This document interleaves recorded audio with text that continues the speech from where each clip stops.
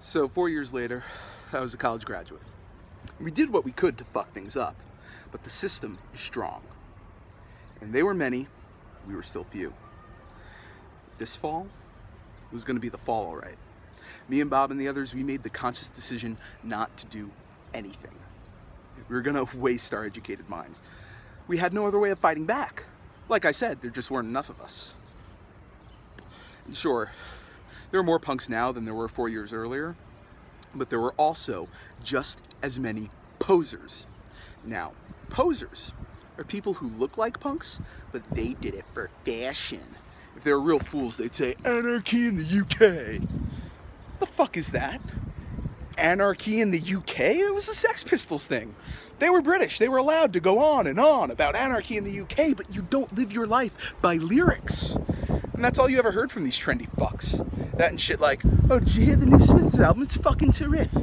Kids walking around Utah saying terrific with a little bit of English twang. I knew a girl who'd only have sex with a guy if he had an accent.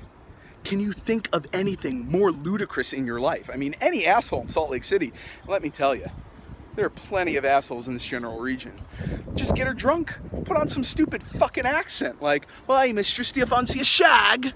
There she was, knees in the sky. It made me sad.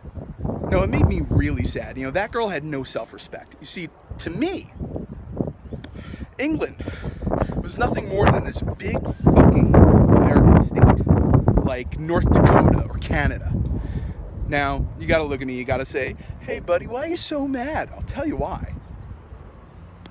For all the falling over these English bands in the SLC, those English chaps could only say shit about us Americans all we were to them was a bunch of hicks. Well, guess what? I'm not a hick. You know, I don't wear cowboy boots.